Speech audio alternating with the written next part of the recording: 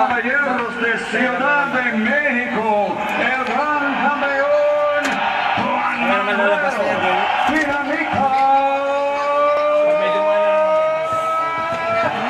Manuel